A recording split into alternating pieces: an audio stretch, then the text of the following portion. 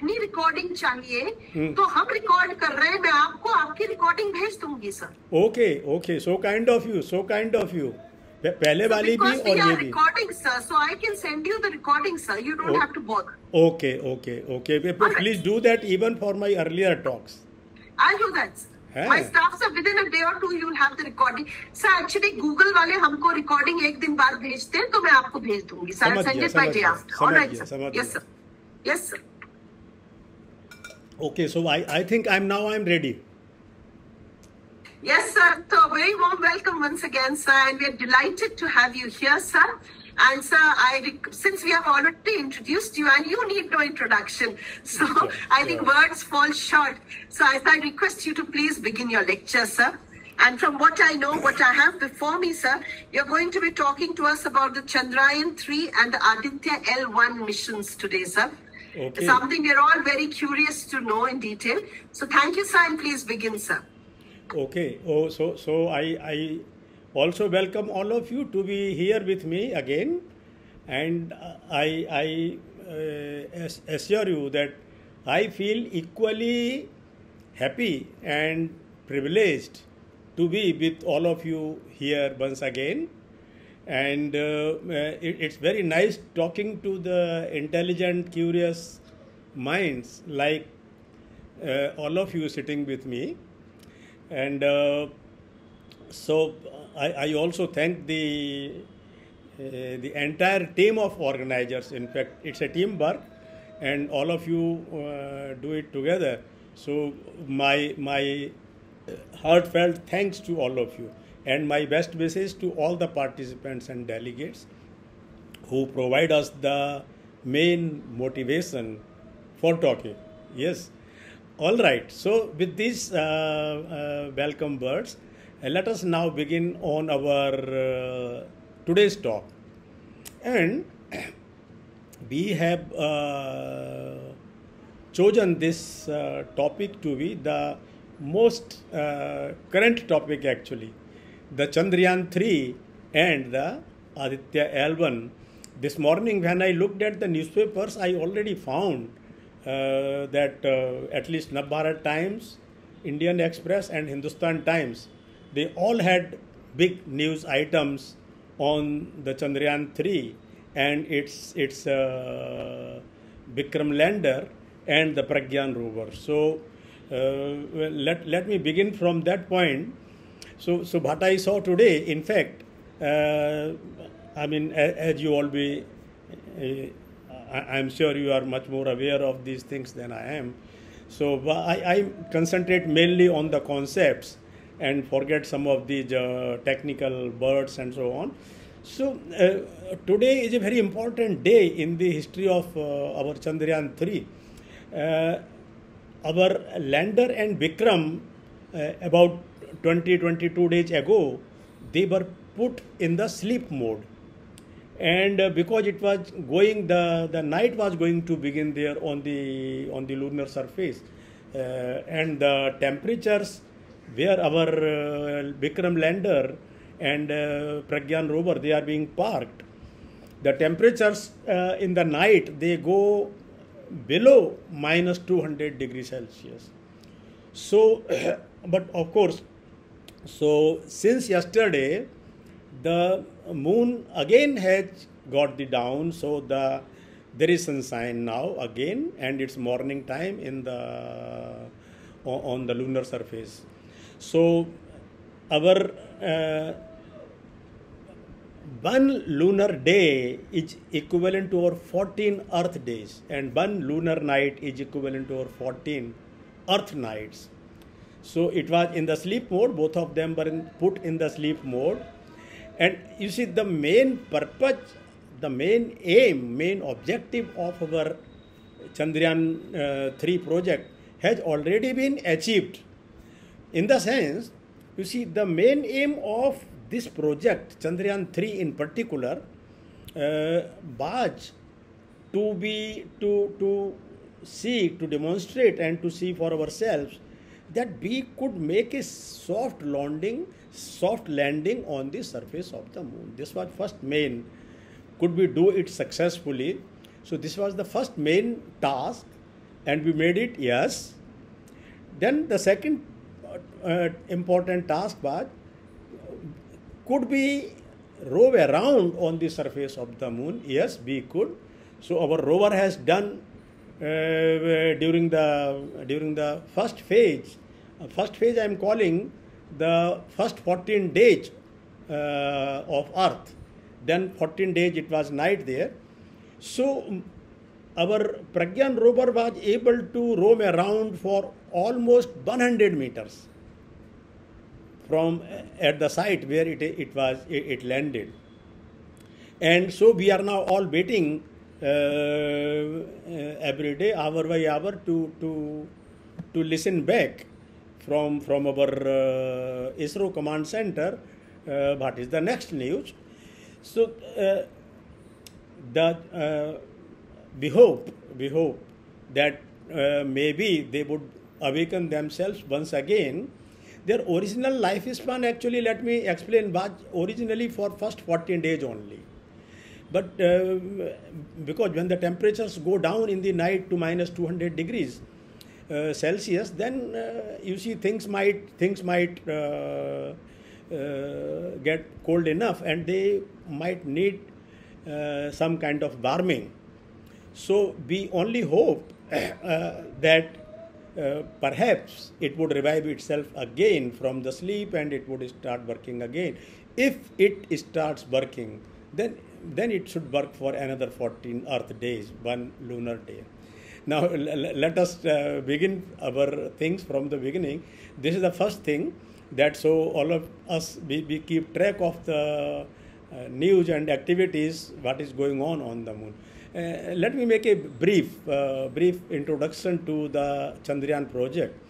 Actually, I remember it was a month of October, November 2008 when our first Chandrayaan, uh, which means Chandrayaan 1 in the series of Chandrayaan, uh, landed on the. No, it, it did not land, uh, but, but, but, but sent to moon.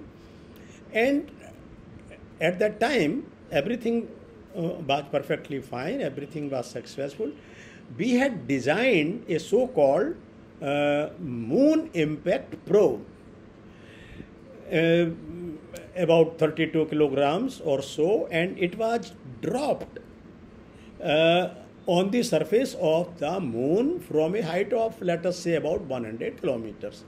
So, we dropped it from a height of 100 kilometers, and then it it uh, should uh, it would obviously hit the moon and uh, during that uh, moon impact probe impact on the lunar surface india was able to discover water on the surface of the moon. What happened? When the impact probe hit the lunar surface so obviously you would expect some some dust and something uh, coming out on that spot, and this was expected that maybe if there is some some form of water or uh, ice water or whatever, so perhaps, and this be became successful. So India became the first country in the world to discover water on the surface of the moon, and this happened during October November 2008 uh, during our very very first Chandrayaan 1 uh, project. So, this was the first uh, successful experiment uh, with Chandrayaan 1 and the finding of water on the surface of the earth. And in Chandrayaan 2, to my mind, to my opinion, it is also equally uh, successful. We, of course, uh, could not put our lander Vikram and uh, Pragyan rover at that time, uh, which was sent along with Chandrayaan 2. However, in Chandrayaan 2, we sent one orbiter so that orbiter, in fact, is functioning till date, till today. So that that is a great success. I, I would think. In fact, when now we see the pictures uh, in the in the social media and everywhere on the TV and that uh, oh this uh, our uh, uh, Vikram lander and Pragyan rover uh, being sent along with the project of this Chandrayaan 3 the latest in this in this series so it is sitting somewhere I mean there is some kind of light some some green yellow and so on surface lunar surface and who is doing this for us? Who is sending these pictures for us? It is the orbiter of Chandrayaan 2. This we need to remember. So some people they without knowing things so well, they simply call, oh, our Chandrayaan 2 was a failure. No, it was not a failure. It's, it's a great success. Even date, to, till, till date, it's sending us the data. And not only that, the orbiter of Chandrayaan 2 is successfully communicating till today, till this time, with our Chandrayaan 3. In, in Chandrayaan 3, we did not send any orbiter, we did not send any moon impact probe. This time it was little bit, we were little more ambitious than last time. So, this time, of course, we have sent a lander and a rover, and uh, it has been great, full, I would call it full 100% success. Now, it's only a bonus if we again, our, our scientists, ISRO team, sitting at our command center in Bangalore, they are, they are, they are trying to, to wake it up, sending uh, commands and sequence of commands trying to wake it up. If it wakes up, then uh, it will start working for another 14 days. So th- th- this is already a success. Now, but prior to 14 Earth days, when it was already operational, okay, when our lander and rover they were already operational. You see, the propulsion module of Chandrayaan 3 is now working as a natural satellite of not natural, artificial satellite of moon. See, what is the difference in artificial and natural satellite? Let me just tell you. So, moon is a natural satellite of Earth, you see. Whereas now all the satellites being sent by us to, to moon, uh, they are uh, artificial satellites, they are man-made. But, but, uh, but uh, uh, moon itself is a natural satellite. Uh, it's not made by us. Okay, so its history is long. We talk about it some other time. So now coming back to this project of Chandrayaan 1, 2, 3 and the, the present one Chandrayaan 3, let me explain a few uh, silent points. You see, in the first place, we have usual as, as a physicist and that too a theoretical physicist, I, I concentrate more on the concepts and I try to catch the concept which I remember also that I forget the technical detail. So the first important, uh, but here I would keep telling you some messages for the younger people. You see, so I, I can see the number 84 uh, of participants.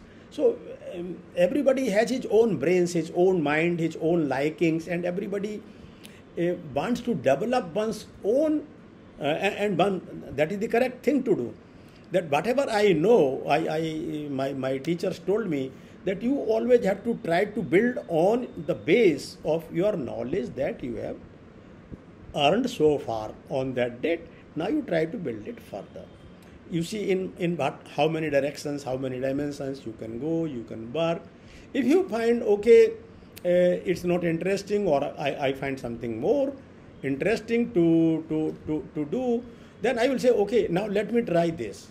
So in physics, people usually keep changing the fields, which is not bad. That's a correct thing. You are a live system. We are a live system. We are interacting with each other. So first thing is to put our put our spacecraft into the into some orbit around the Earth.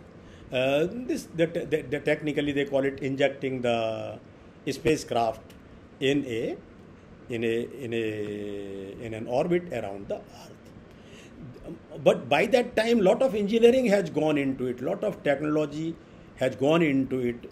Some people like uh, our isro chief uh, somnath and so Somebody is specialized in the designing, construction, uh, theory and experiments based on these launch vehicles. Somebody is specialized on something else. Now, once you put it in some elliptical orbit, uh, now you make some so-called maneuvers. This is a message here. Our younger generation, they must keep catching all the points and they must catch where their interest lies, what they can understand, what they can develop.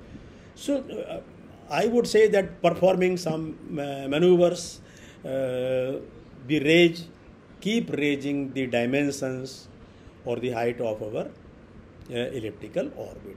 Once we are in the in the lunar gravity, once we enter the lunar gravity, then we want to reduce the the size of the original orbit where we entered. So this the younger people must catch. Uh, if something interests to them, interests to them, they should try to find how do we. What is this maneuvering? What is this maneuvering? A person like me would, would not not go too much into details, but younger people, depending upon their own interests, should try to catch. Can they do something there? Do they know something there better? And that you can try to develop. So this is another thing. Now. Uh, for a theoretical physicist, there is some more interesting point as uh, of concept which I would like to highlight to everybody. You see, there are uh, our our spacecraft keeps revolving around the Earth for for a number of days.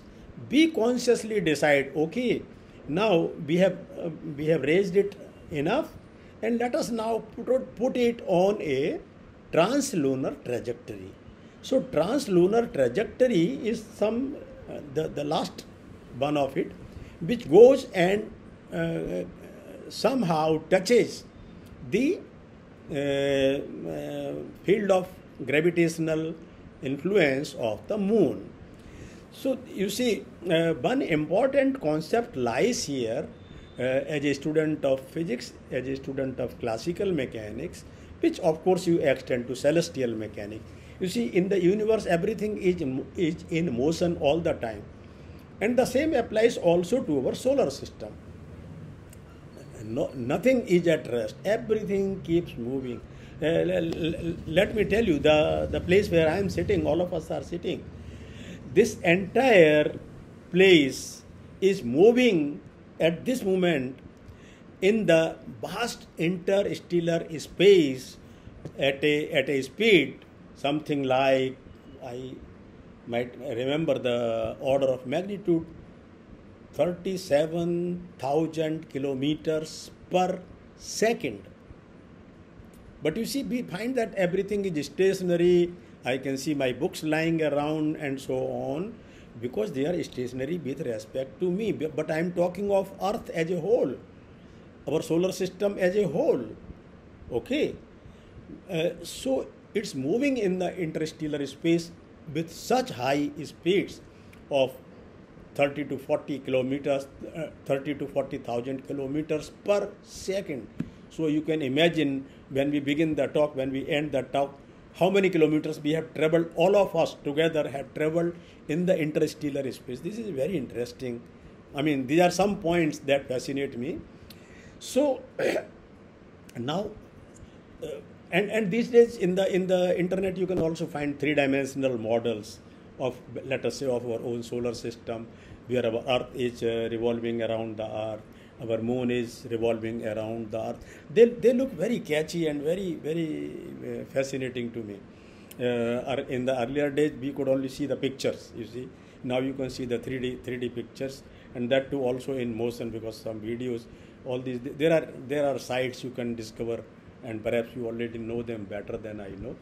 So, my, my point is when I start from Earth, when I aim to reach the moon, um, after some, some days 30, 40, 50 days, whatever I decide, I would like to make sure when I start from the surface of Earth, I have to know that the place in the space where I am going is a vacant point in the space time. It's a vacant point in the space time. There is no moon at that point. By the time we arrive that area, that domain, moon would have arrived there shortly before we arrived there. You see, shortly before we arrived there. And this we must make sure. And similarly, because otherwise, if, if moon is not there, then there is no gravitational force there, there is no gravitational field there. Who will, who will welcome us? Who will capture us? No, nobody. Then what happens? Our spacecraft gets lost into the vast space, vast interstellar space. It gets lost. So this is what we make sure. But uh, thanks to this younger generation, like you people, they are smart enough, intelligent enough. They make all these calculations now using the advanced computers and all these 3D 3D orbits in motion. So, and now we again, you see, we, we have to make it sure again and again. Before we put our spacecraft, the Chandrayaan or whatever, on the translunar uh, trajectory, we, we must again make sure that yes, because before you put it on that trajectory, things are in your control. You only raise or lower or you change the size or the dimensions of your elliptical orbit, which is under your control. It's a controlled, super controlled experiment. So you all these things are known. You can uh, not only keep raising, you can even increase, you can decrease also. You can decrease it also the size of the elliptical orbit. So you can keep it in the orbit as long as you want, okay? Uh, of course, depending on the fuel, but we don't depend too heavily on the fuel. We work more, we derive our, uh, our, our source of energy, mainly we derive from the gravitational force. We, we plan our things like that. And the same is also true when we once uh, at some point again enter the moon's gravity. So we make sure at uh, each and every point that we are going in the right direction. And once you have put your spacecraft on the translunar trajectory, so then this trajectory uh, would at some point touch the gravitational field of the moon. Okay, and this we have made sure.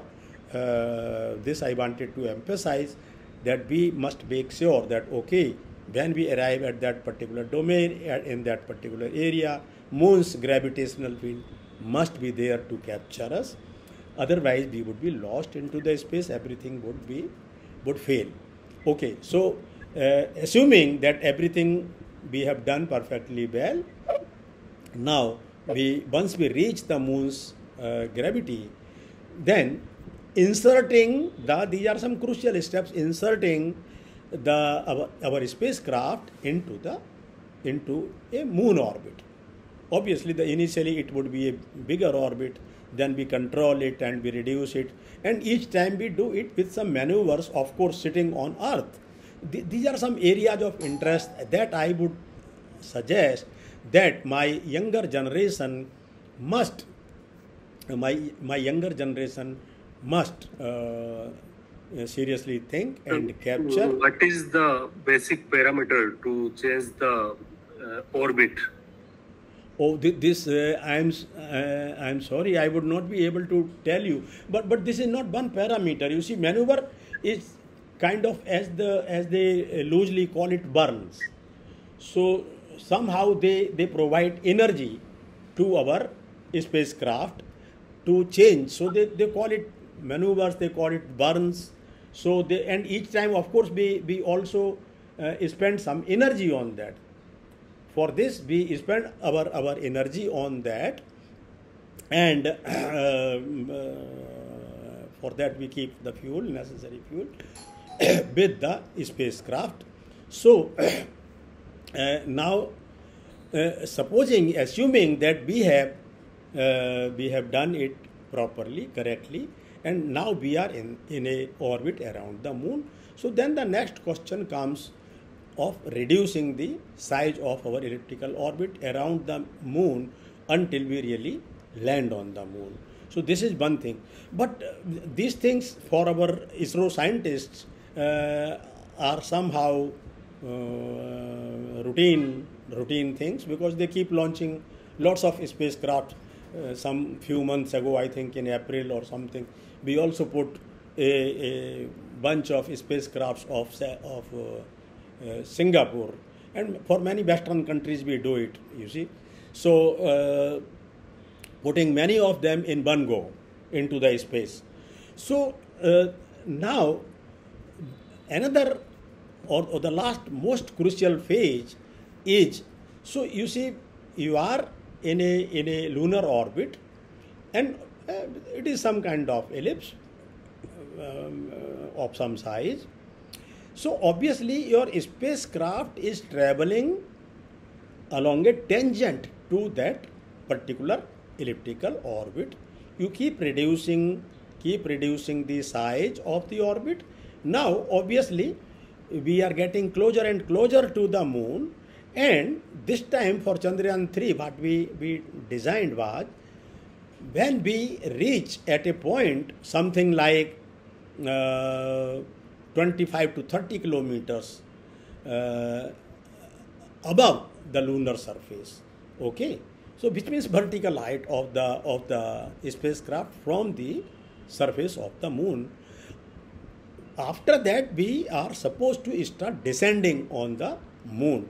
Now crucial thing starts.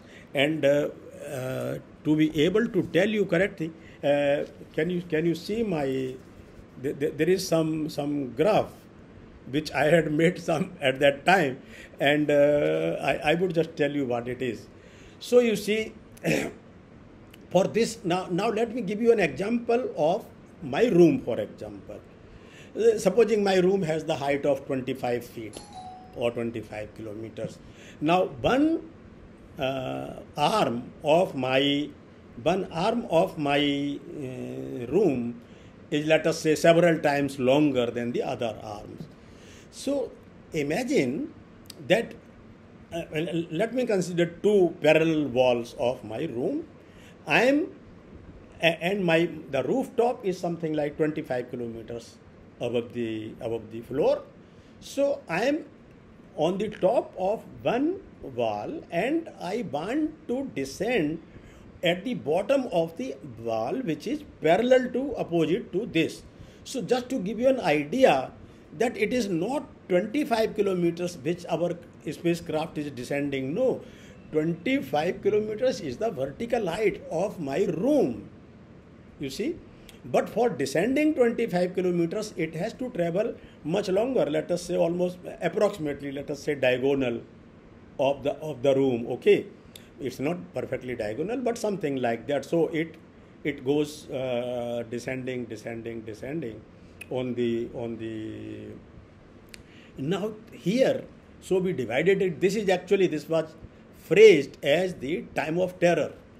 You see, and this we are supposed to descend let us say in about 20 minutes time so this 20 minutes time and this 25 kilometers vertical height of the spacecraft our chandrayaan from the surface lunar surface of the moon uh, uh, could, could, could, i just take a gap of one uh, one or two seconds please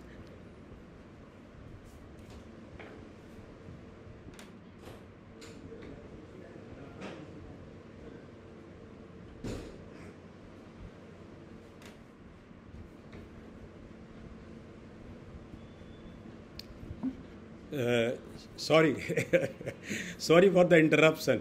So uh, let us get back to the point what I was explaining. I am uh, at a height of 25, 25 kilometers and I want to descend to the zero height. So this is vertical and but for that I also have to let, let me resolve it in the vertical and horizontal direction. So I am uh, want to descend 25 kilometers here uh, altogether in roughly 19, 18 minutes and then I have to uh, go down to the uh, bottom of the other wall. This is this is one point. So uh, this was divided into for understanding purposes and for practical purposes.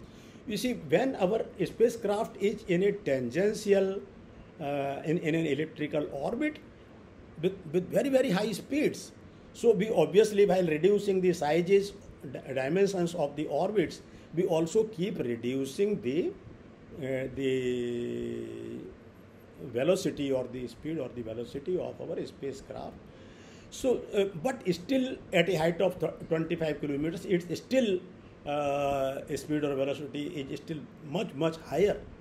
And you see now we have to bring it to the zero. Otherwise, it would it would uh, not be a soft landing. We want to make a soft landing. You see, so uh, we, we uh, apply the brakes kind of uh, in, a, in a layman's language you very heavily apply the brakes. And uh, in so you you come down uh, let us see from 25 kilometers to only 7 to 8 kilometers height. And this much you descend in about 11 minutes. Uh, this was this is called rough braking phase. And after that for few seconds 10 seconds or so this was called altitude hold phase i mean your spacecraft could hover around uh, at a height of uh, 7.5 kilometers above the vertical height this and you see the, the, these uh, our our uh, there are on board lots of instruments which keep telling us exactly how much is the vertical height how much is the uh, vertical component of velocity how much is the horizontal component of of this uh, at the time of descent of chandrayaan 3 so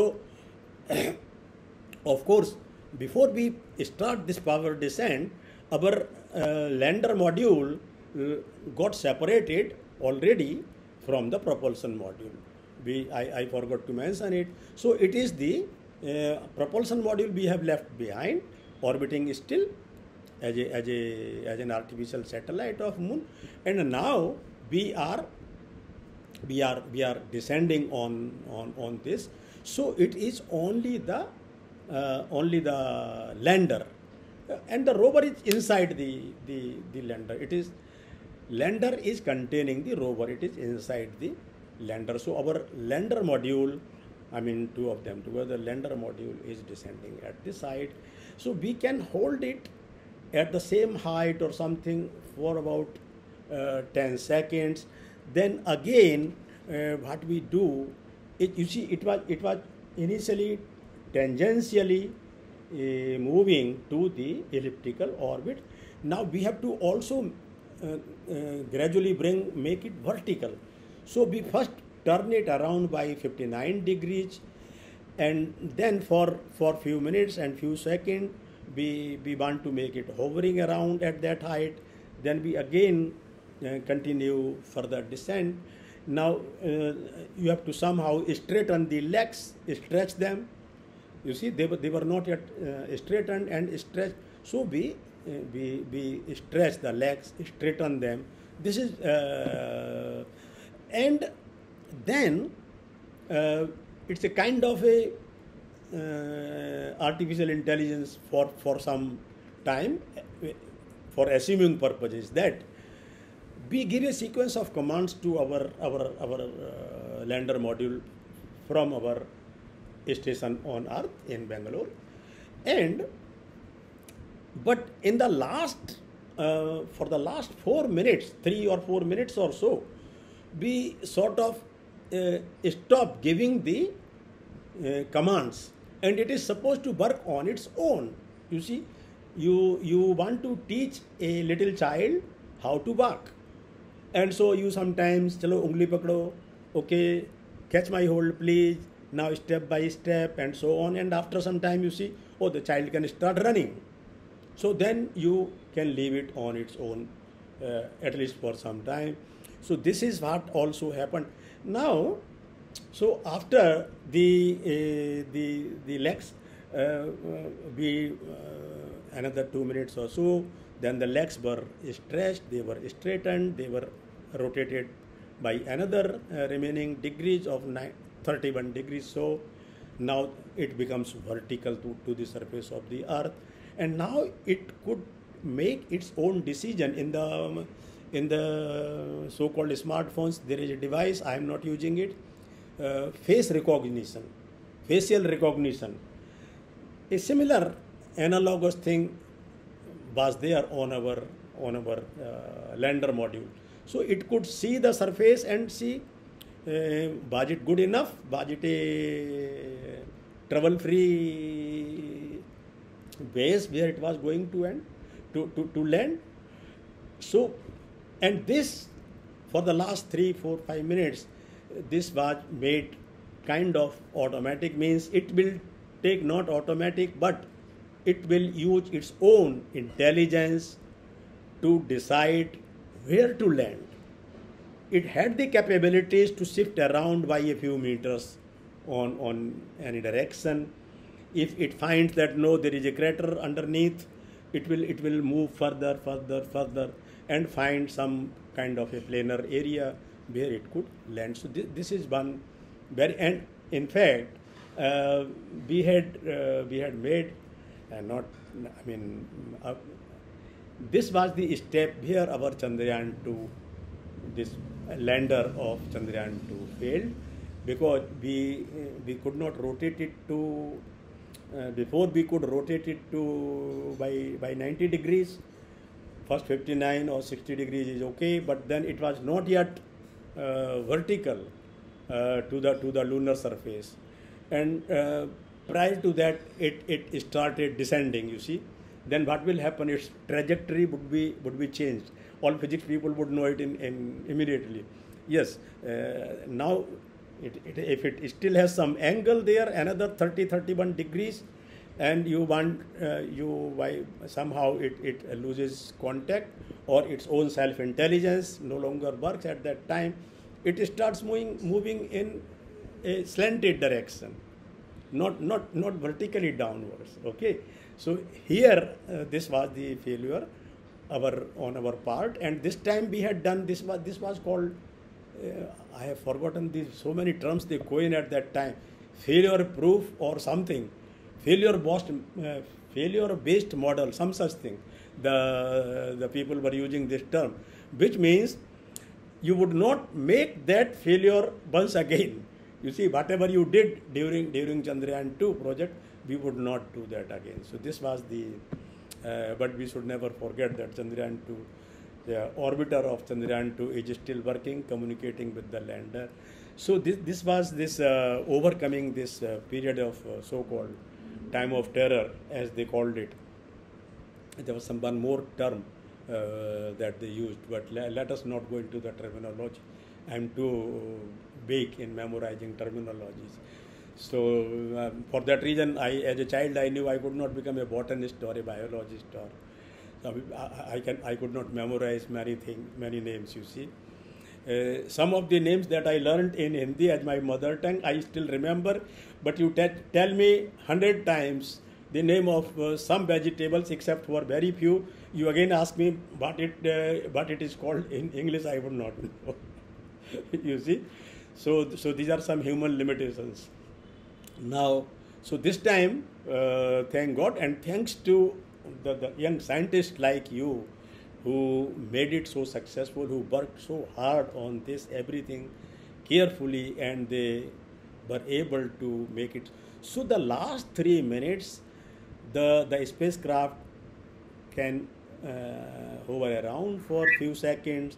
It can decide. It can look down.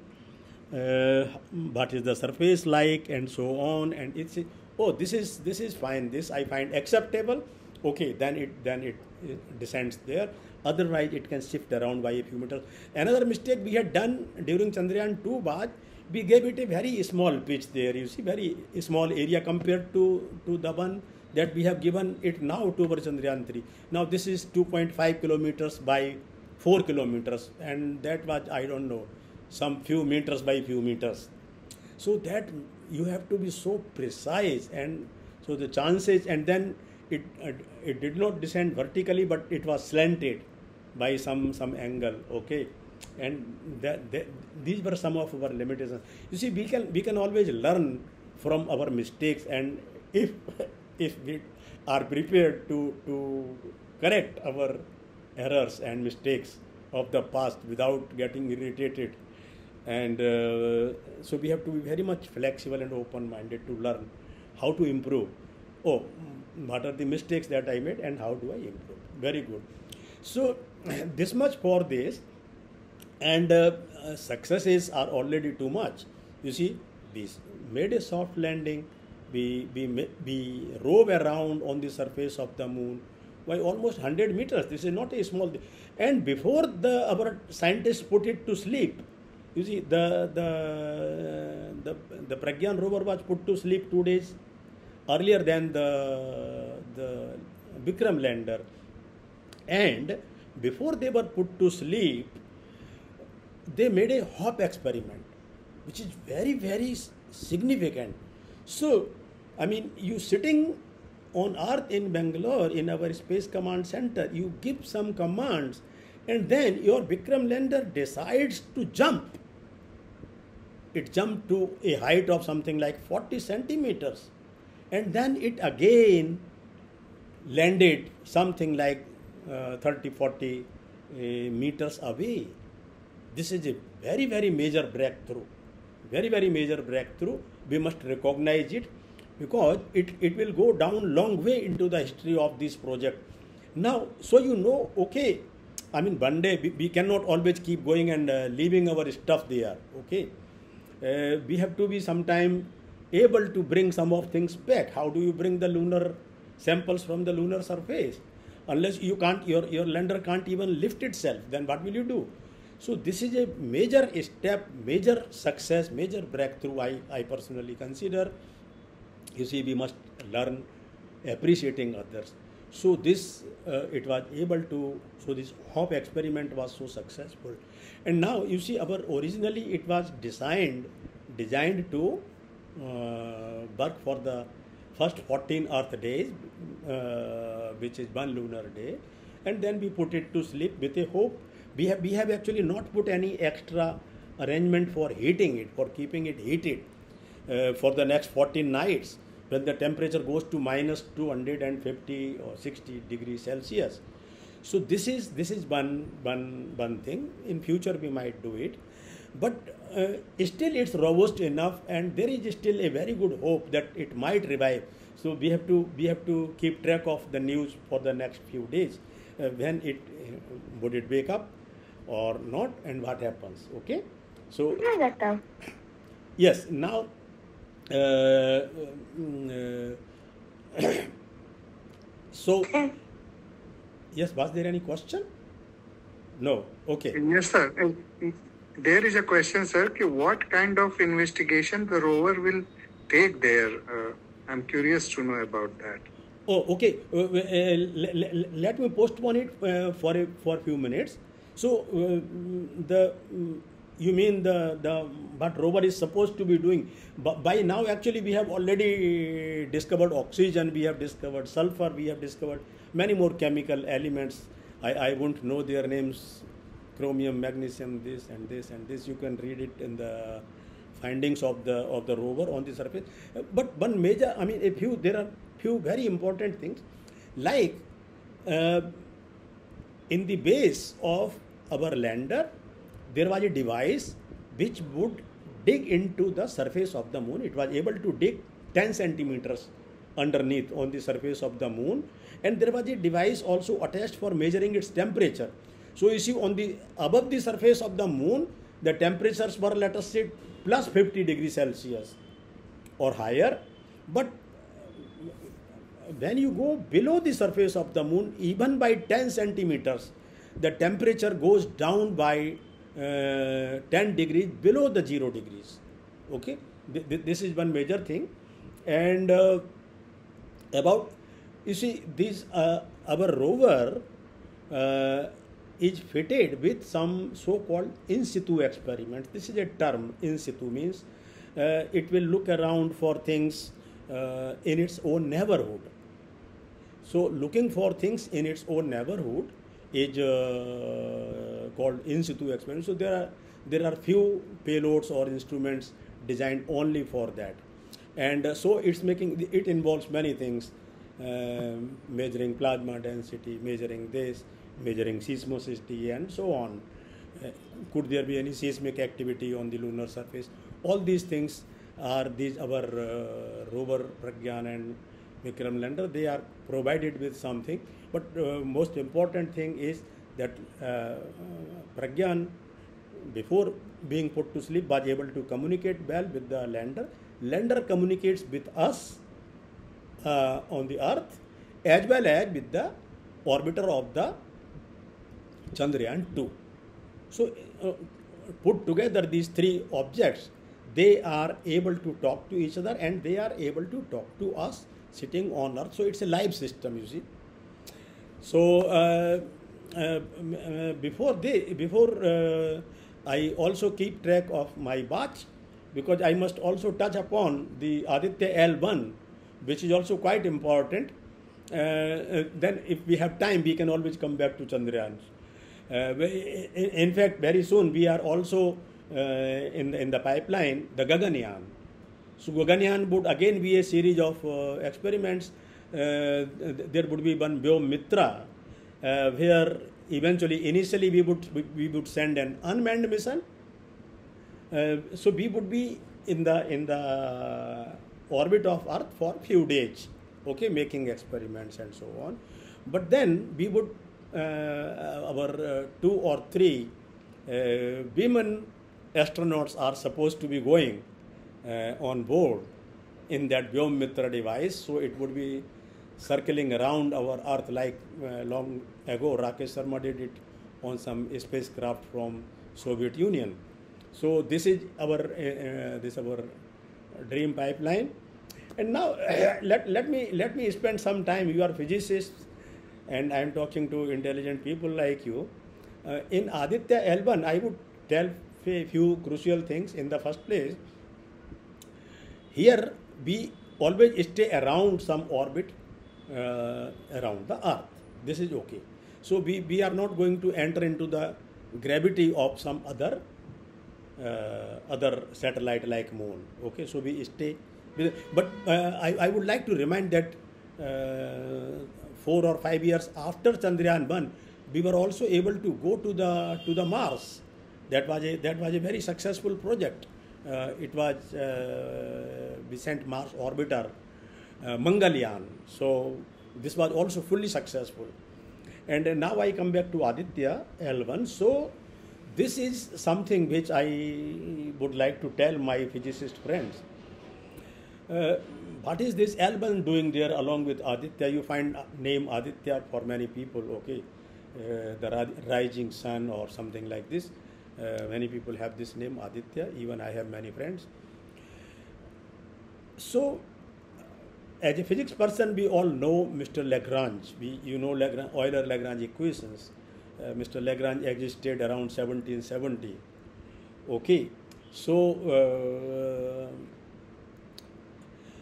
here there is a question that we have two heavy objects. One is sun, and one is earth. Heavy in the sense earth is much much lighter to than the sun but still it's heavy enough when, when we talk of a third spacecraft like Aditya L1. So, uh, initially for this two body system, uh, like Sun and Earth, or like uh, Earth and Moon, you can make a calculation. In some other windows, I do have some of them. I might uh, make this calculation uh, in the near future, try to, to make it. This, this is rather simple. So you can make a calculation of so-called Lagrange points. These are the if you if you if you plot the phase diagram of this two body system, if you like to call it more rigorously three body system, but third body is a tiny object, negligible compared to the masses of Earth and Moon. So therefore, it's also called as restricted three body problem. Now, uh, uh, I don't want to forget telling you one book. All of you must look look up at this book. Uh, this is uh, a book by Jordan and Smith. Non-linear ordinary differential equations. Please just read first few pages. So, so this uh, for nonlinear dynamics, I, I taught nonlinear nonlinear dynamics as a part of my classical mechanics course at Delhi University. We used to have about three weeks course on nonlinear dynamics. There is a one full paper on uh, nonlinear dynamics, uh, but we had a some small introductory portion of this in classical mechanics at some time. Now it is no longer there; it has been removed from there. Uh, so, uh, I mean, to, to, to reduce the size of classical mechanics course. Anyway, so uh, this book is a very fundamental book. There are plenty of books on nonlinear dynamics, but my, my liking this is one of the classic books, Jordan and D. D. W. or something. Jordan, G O R D N Jordan and Smith. You, you, you will find it in the Google Jordan and Smith, and you can download the PDF file. just read the first few pages. So, for, for a physics student, if I just mention that uh, one dimensional harmonic oscillator or a simple pendulum, you see, so you can you can write down the equation. All of us can write down the equation of motion and so on. So uh, when you take explicit dependence on time, then it's a non-autonomous system. When you take I mean, in any case, you have implicit dependence of time, like your x and page would depend on time. Okay. So uh, you, you write down, for example, write down the total Hamiltonian for a conservative system uh, when there is no explicit dependence of time. This is an autonomous system. Then uh, you, uh, all of us remember that the phase trajectory of a simple harmonic oscillator is just an ellipse, which is p square by some constant plus x square by some constant equal to 1. This is actually a Hamiltonian is constant. It's a conserved quantity, total energy of the system.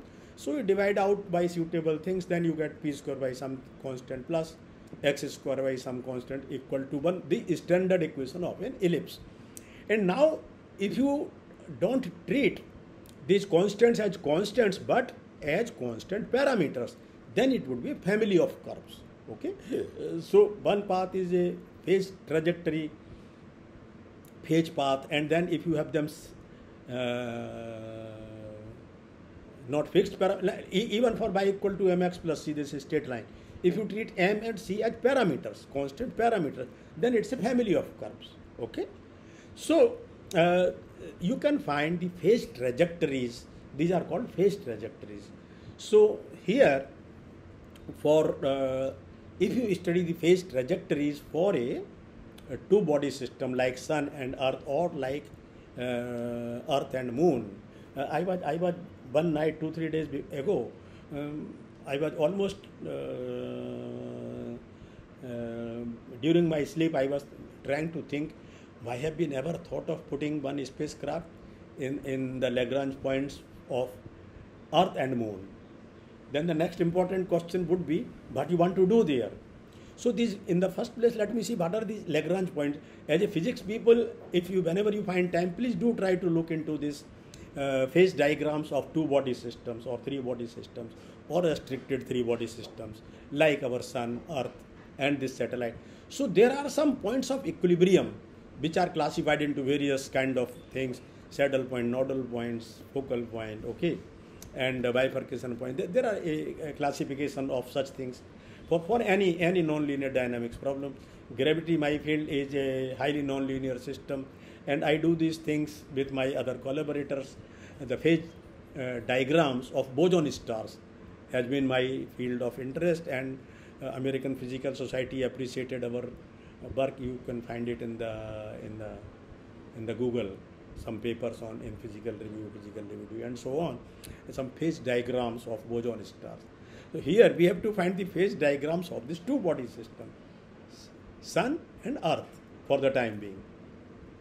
Uh, then, so in between there are some five Lagrange points. They are called as Lagrange points. These are points of stability, mm, fully stable or partly stable, partly unstable. You can you can look into the literature. So uh, now L1 is the nearest to the Earth and so what happens around these points, uh, L1, L2, L3, L4, L5, there is some domain where uh, no phase path crosses through it. You see? And I, am putting it in the physics language. So in some domain, they, they, these phase trajectories, they went to this side, they go to other side, they go to other side. So in between there is some domain uh, uh, where which can be used as a parking place for our spacecraft. So if we park our spacecraft, Aditya L1 is going to be parked around in this small domain around L1. At that point, we use, uh, we need very, very minimum amount of, uh, very, very minimum amount of energy we don't need too much of fuel to stay around.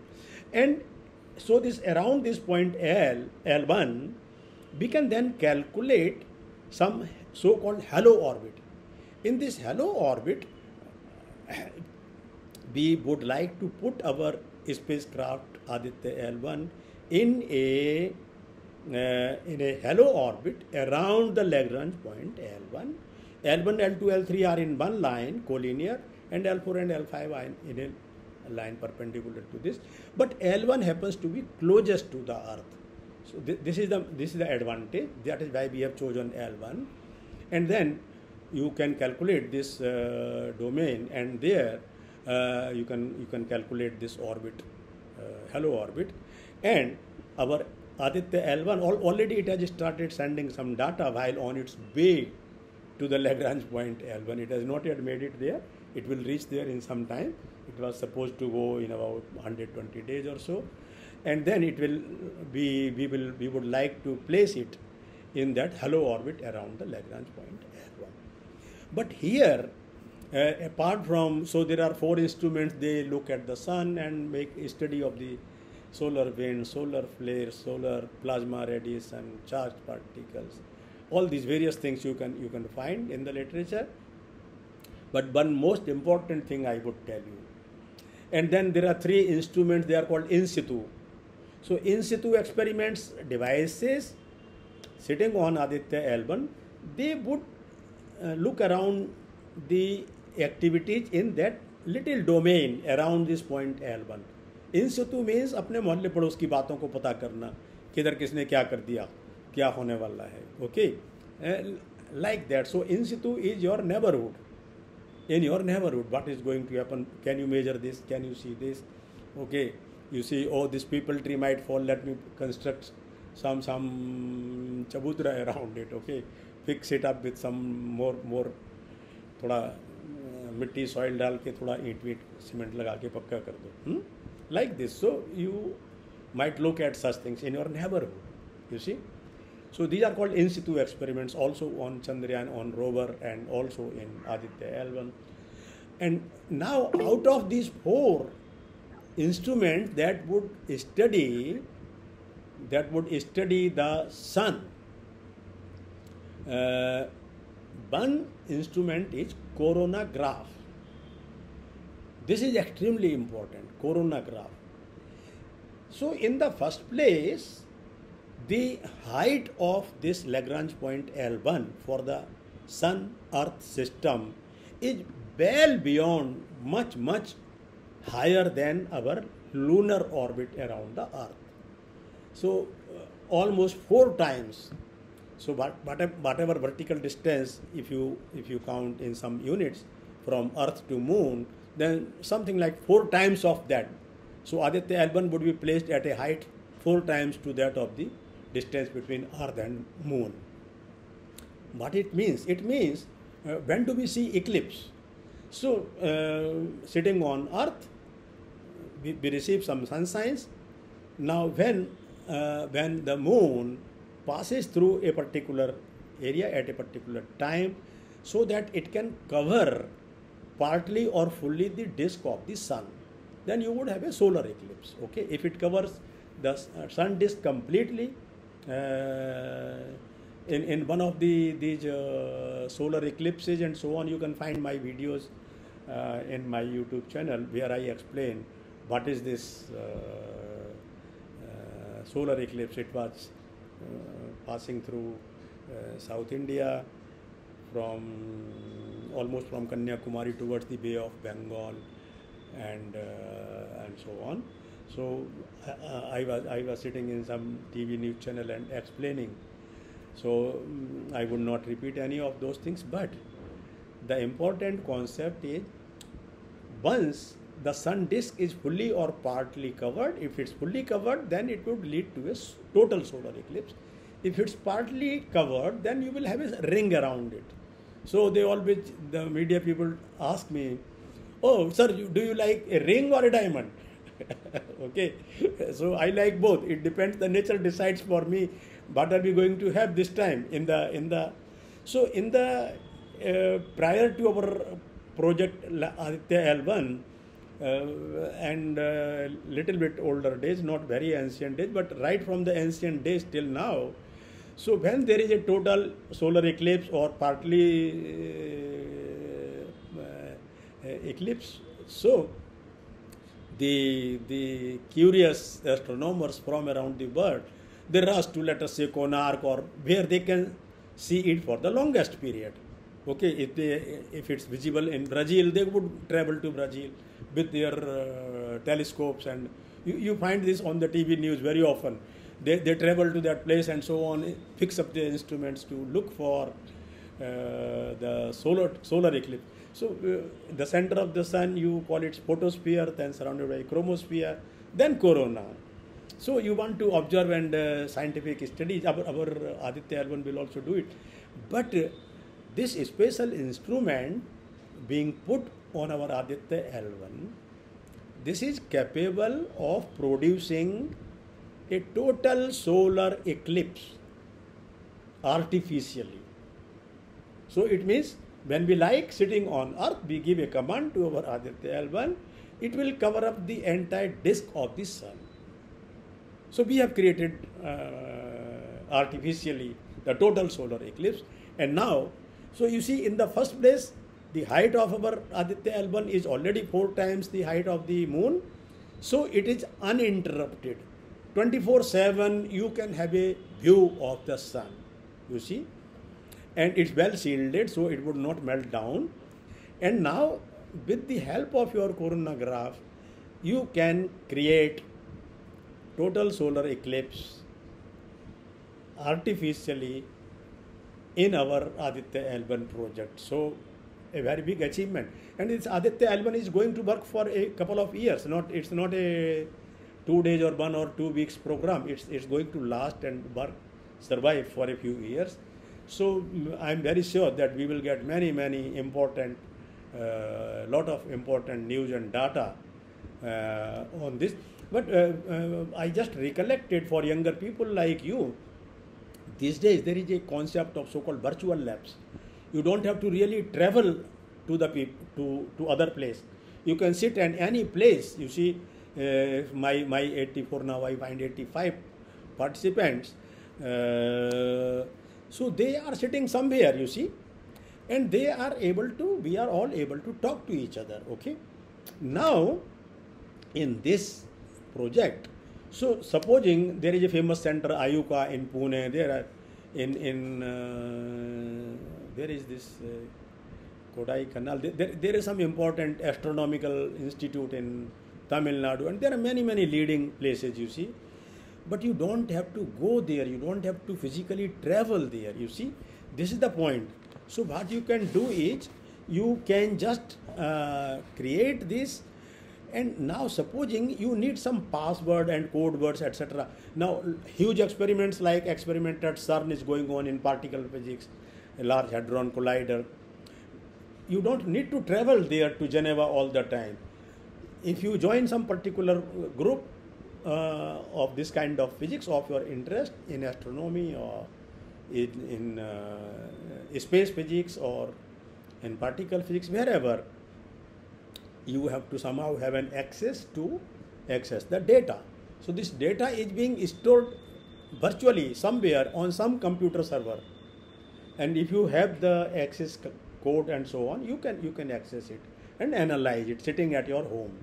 So uh, in any case, the modern generation is very well equipped with the computers, and so not not like me, but uh, you people are much smarter. Younger generations, I understand get smarter and smarter and more in, and more intelligent you see.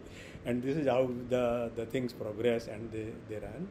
So uh, to, to to my guess uh, to my hopes this aditya l1 project is also going to be a very very successful project so far everything is going on in the right direction moving in the direction of uh, whatever we have uh, assumed it to do for us, going in the right track. So uh, I am sure we will hear the news that it has been successfully parked into the halo orbit around the Lagrange point L1. Now, some of you can uh, can think and, and, and communicate with the ISRO people. If you come across the new ideas for exercises, you can learn how to calculate the Lagrange point. Then, um, if, if, if we put a spacecraft around around the uh, some Lagrange point for the Earth and Moon system, supposing we could do that, then what are we going to study? This people like you should worry about. What are the kind of things that we are we can study? Could there be some? Of course, uh, uh, if we think uh, our our instrumentation is more stronger, then we might be able to study many things about moon sitting in some halo orbit around some Lagrange point for the Earth Moon system. Uh, you could you could study and observe many things for moon. You could observe many things for Earth. So our ISRO has been already, uh, in order to be able to explain and so to say teaching others, I also have to keep learning uh, because they, the people they ask me and uh, for explanations. You see, and um, right now our program English in English, but I can also roughly equally well also explain in Hindi so many channels they want me to be there because they से sir आप हिंदी में बहुत अच्छा explain करते हैं please come okay never mind we should learn I I am very good at learning languages I, know many of the variants, at least of Hindi for the, for the time being. I'm trying to learn, pick up Sanskrit, but I wish I learn more languages. You see, they are all sweet and nice, very rich languages like all lot of uh, music for uh, Bengali and for Maharashtra, they have somehow. Uh, so I mean, uh, we should not have a closed mind for language. We should be we should keep an open mind for uh, learning many languages. Uh, out of the, I mean, among the European languages, my German happens to be my third language after Hindi and English. Then fourth, I would put maybe French, then fifth overall I would put maybe my Sanskrit, whatever little. But so uh, we should enrich our things, and it's a good brain brain jogging. You see, now so brain jogging is also important. We should we should keep keep uh, educating ourselves, keep learning, keep an open mind. So uh, perhaps these are some of the main points about the Aditya L1 project, I have given some remarks about the new openings, like also study these things uh, for the Earth Moon system. Then, I mean, that much part would be easier and would, it would cost much less to put one spacecraft there. But then, what are we going to achieve out of that? So, um, many people, I'm sure, sitting in uh, with us today, many of them may be knowing very good experimentation so they can come up with some new ideas of uh, what could be done, you see. And uh, uh, there, there, could be many people with a stronger uh, background in electronics, for example. So, as you see, deep space communication is a very important aspect. This also, so uh, computer based and many, I, I don't know, uh, I'm too weak on that, but the deep space navigation.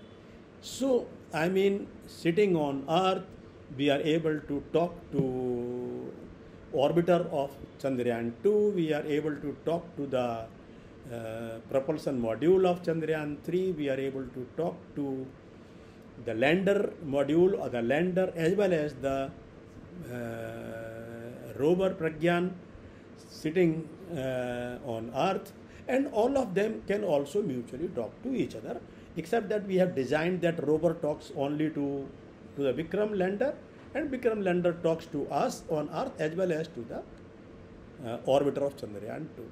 So it's altogether it's all, a live system like we like ours uh, at the moment. Okay, altogether we constitute an including me an audience of 80 to 85 people, and we are able to talk to each other. So this uh, in this sense and now we would also be talking to our Aditya L1. You see, and we have been actually talking. And please also remember that many other aspects, I, also I work in gravity theory, is one of my which is a part of field theory in curved space time.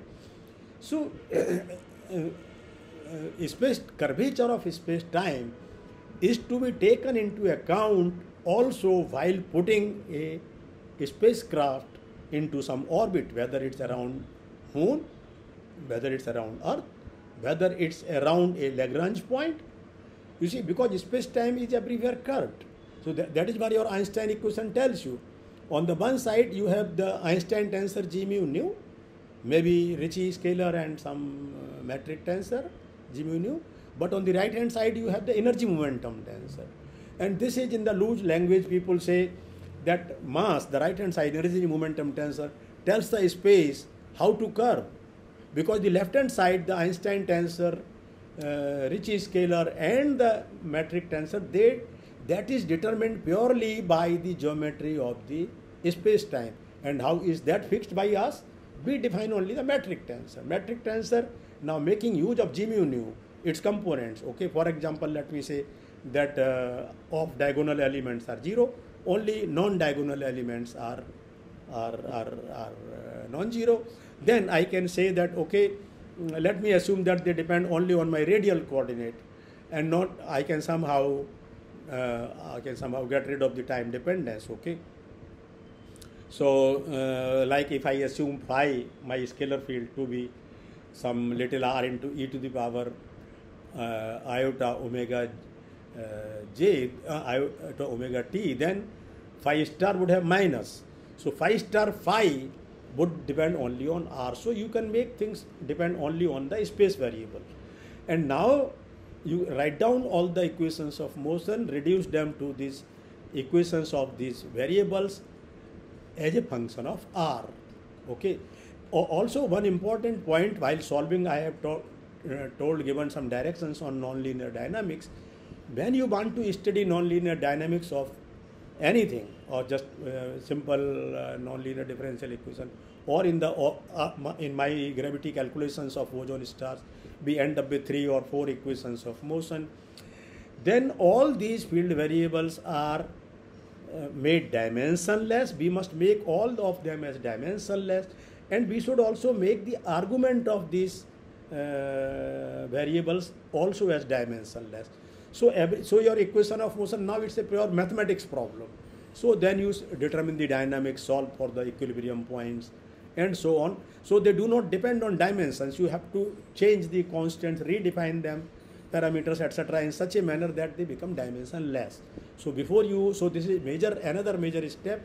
Divyaji told us that uh, she is going to make a video recording of such talks. So many important points. Whatever, whatever interests you more, you can listen that part again and again and make your own notes to, to proceed further on that. So my boss tells me that I have been speaking for something like one hour, 13 minutes. So uh, I was given one hour and 15 minutes. So I have another two minutes time. Uh, I would, from my side, this is what I wanted to communicate and tell you. But I would be very happy to to respond and answer the questions. I don't know if I told for some particular. I have a question. Yes, please, please, please. So when we talk about L1, uh, mathematically it's a single point, but uh, physically it should be spanning some space. Like if we have many countries competing, I think already US has a uh, observing, observing satellite that is very close to L1, and we are also going to rotate around the L1 from what you say. So uh, how big is this uh, space around L1 that is uh, that is uh, almost Oh, you know, uh, can that's, a, that's a good question. But a- as I said, uh, I would not have a, any numerical idea of the the size. Uh, but but it should be uh, big enough to be able we, we can we can and in fact not only one spacecraft we can park at a time uh, we, we can park even more of these but uh, uh, at the moment I have no idea about the dimensions of this, but it's sufficient space. Uh, I, I, I would recommend Nirmalji, you please do look into these some of these websites, and there you will find very beautiful uh, phase diagrams and phase trajectories. So they are bending to this side, they are bending to in all other and in between you find some area. So I have not gone still further into that, but in my own research work, uh, you might look up into my, my work on boson stars uh, in the in the internet. It's available there. So there we always make phase plots or phase diagrams of boson stars, and uh, in this we encounter some stability points which are called as bifurcation points. So I still remember it was uh, some years ago. Now this student of mine, Dr. Sanjeev Kumar, a faculty member uh, in Hansraj College of Delhi University. Absolutely brilliant boy. And uh, I remember uh, he finished his PhD in around 15 and 16, 2015 16. Shortly prior to that, uh, in our first earlier papers, we had only one bifurcation point. So I would, uh, I, I enjoy his company, so I sit with him and as, as, I said, I don't remember numerical uh, commands and so on. He says, Sir, I'm here. you tell me your voice command is good enough. I sit with him. Now, one day he showed me that in these phase trajectories, so you see, you have to plot it point by point by point. You have to have a lot of patience. And uh, writing such uh, computer programs is a million or billion dollar experiment that he has done. So, what happens? Supposing, let me consider a figure of 8 okay on the vertical side let, for the explanation purposes. And now let me let me cut the up the upper half of the uh, upper circle of 8 okay. Uh, supposing this this vertex in the in the trajectory of 8 i call it a uh, let us say bifurcation point or first bifurcation point. So if i find that when i change my parameters of the theory in such a manner that I get more points on the vertical side. So I would have the curiosity, put this uh, figure of 8 because this is a numerical result, you see. The nonlinear equations are so nonlinear and you are solving a set of coupled nonlinear differential equations which are highly nonlinear. Uh, so double prime, prime um, comes square of prime or double prime of one variable and so on. So this is four variable, uh, four uh, set of four equations. So we will have the curiosity, would it again close the figure of 8 or not? Then in between, for, for, for changing our set of parameters, he found that in between a, a small circle started coming. Then what would it mean? He said, sir, this, what is this? Is some new thing is happening. So we said, okay, let us have patience. You, so you see, in our case, we had to reduce the least count of our parameter. So, uh, for example, 0 0.1, 2, 3, 4, 5, 6, 7, 8. Initially, you go to 0 0.1, you don't find any almost anything data. Uh, 0 0.1, 2, 3. When we start going to 0 0.6, you find one, one bifurcation point. You see, when the your accuracy becomes so much, precision becomes so much, then I said, Sanjeev, can we go little bit further? Is it possible? He said, sir, 10 to the power minus 8, then computer will read it as 0. I said, okay. Uh, but let us be careful, uh, change our parameters from this side, that side, here and there. And then you see, in between, before closing the figure of 8 upstairs, you find that in between there is a circle, which means that this circle must have been surrounded by some other phase trajectories. You see? And they, they, they might again cross. Then at the end, in a series of over uh, 8 to 10 papers, we were able to, so then we were able to precisely find four, a set of four bifurcation points, then we eventually found that in fact a series of infinite sequence of bifurcation points exists in the phase diagram of boson star. Uh, this is the latest update. So if you if you start doing it, then these things are you see also very interesting. And uh, so I propose to make one calculation myself uh, then my other collaborators will also take it up. So two body problem, sun and earth. Then we see, uh, find this L1, L2, L3, L4, L5. But if we solve these equations ourselves without looking into the to the internet results, then we have to be able to find these phase, phase trajectories. We have to make these constants as constant parameters by their slight change. We have to learn. This might be a very good project if some of you are interested in nonlinear dynamics or handling these things but you also need to have good you can make a team of you you see team of people one person cannot do everything. I, I just you personally talk blah blah blah concepts. My my other people they somebody works out the mathematics. Somebody along with mathematics is also good at doing something numerical.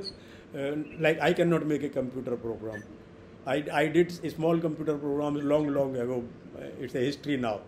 I, I cannot do it. But uh, but but people younger people can do it.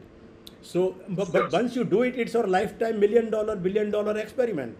If you do it, so it's not only uh, going to if you you uh, be useful only for once okay like in our earth sun system you can make these calculations you will have a sequence of research papers very high quality i must tell you these would be counted as very high quality research papers and you can make some beautiful contributions to so uh, just make nonlinear dynamic or just pick up one dimensional harmonic oscillator to start with uh, uh, if you like so some some um, uh, function of x by for simplicity, let us say dy by dx equal to ax plus b divided by cx plus d. Okay, so linear. dy by dx is has a linear uh, x and y, and divided by something also linear in x and y. Not quadratic, then it becomes too much. You see. So initially try that. Uh, they are autonomous system, no time explicit time dependence. If you like, later on you can also introduce time dependence explicitly. And so even for one-dimensional harmonic oscillator, try to plot some of the phase diagrams. It's a very good, interesting project. Uh, uh, along with your students and collaborators, please try these things, and we all stay in touch. You can have my contact address from Divyaji has promised me to put me on the WhatsApp group of all of you. So I accept. Sir, I'll do. I will do that, sir. It's a miss of me. I apologize. We will do that, sir. We'll just add you. We'll just Sure, add you to sure, the group, sure. sir. Uh, wh- wh- which one? The, my email ID? No, sir. The phone number will do, sir. We will add you through your phone number, sir. Okay, okay. So my phone number, uh, let me read plus nine one, Yes, sir. then seven zero Sir. four two zero Four two zero seven one Sir. five one six. one five one six. Yes. I repeat, sir. Seven zero four two zero double one five one No, six. no, no, no, no. Uh, seven zero seventy, then four twenty, then seven, followed by one five and one six. Please repeat. All right, sir. Yes, sir. I have it on record also, sir. We'll manage, Se- sir. yes, yes, I'll seven just add zero you, sir. four two zero seven one five one six. Wonderful, wonderful, wonderful. Yes. sir. We'll do that, sir. We will just add you, sir. By uh, in another sir. one hour, you'll be there, sir, in the group. So, uh, sure, sure, So- sure, sure. I look forward to that. Uh, uh, Divyaji, I, I always remember that the uh, right now I am speaking, but I, I know that the the audience uh, and the participants, delegates sitting with me, they are uh, even more intelligent than me. I am very sure. It's only I have some knowledge, some wisdom of some kind. Some others have some other kind. So all of us are. So um, I, I remember that I am talking to a set of very brilliant, intelligent people, and and even curious and enthusiastic minds. So that that that's great. That's great. In in fact, I am very very grateful to all of you, all the people. See, this is the first component. I am a person who loves and respects the students. I am one of one of my colleagues, Professor Pankaj Saran, also a physicist, uh, senior to me. He once wrote a Facebook post saying that there can be nothing beautiful in the world uh, than looking into the eyes of your curious students. The students they want to learn, they want to have knowledge, they want to also acquire degree, but uh, degree with knowledge. And uh, if you do not uh, recognize this fact, then you are not a good teacher. You should better leave the teaching profession. You should look into the curious eyes of your students lovingly, what they want to have from you. Try to transfer. If I know many big things, great things, but if I don't communicate these things to you, if I don't transmit my knowledge to you, if I don't transfer my knowledge to you, then I'm a useless person. What is the use? I ought to be able to transfer my knowledge to my uh, to my younger people, to my students, to my collaborators, to my colleagues, Thank, colleagues. thank like you, sir. That is such a great That is such, such a great uh, message from you for all these young physicists who are sitting there. Sir, I wish we could keep talking to you, but I think we are running out of time. Oh, yeah, yeah, So ma- ma- I thank ma- you, sir. My, I my, thank my It tells me that it's Madam, one, one uh, hour 24 minutes Sir. already. So, Sir. but, but before I forget, my, my very, very huge, heartfelt thanks to all of you, all of you, with lots of love and best wishes. Thank you, sir. We all thank you, including And- and- Professor Sanjay Pant, who is here. Please- sir. Madam, please- uh, please- may I- wonderful use the opportunity to Uh, thank no, uh, uh, please do Kulshree, forgive me for my Kulshree. shortcomings. Namaskar, sir. Thank you very much, Namaskar, sir. namaskar, namaskar. Thank you, sir. Sir, no, sir, uh, we are we are really on behalf of Department of Physics and uh, HRDC. We are really you, grateful thank to you, you. thank you so much. Love Love you you, love you all. Thank you so much. Thank you, sir. Thank you, sir. Thank you very much. Thank you, sir. Thank you, sir. Thank you, sir. Uh, so, uh, Professor Sanjay Pant, with this we come to the last session, and I think our resource person has joined us. I could see that Dr.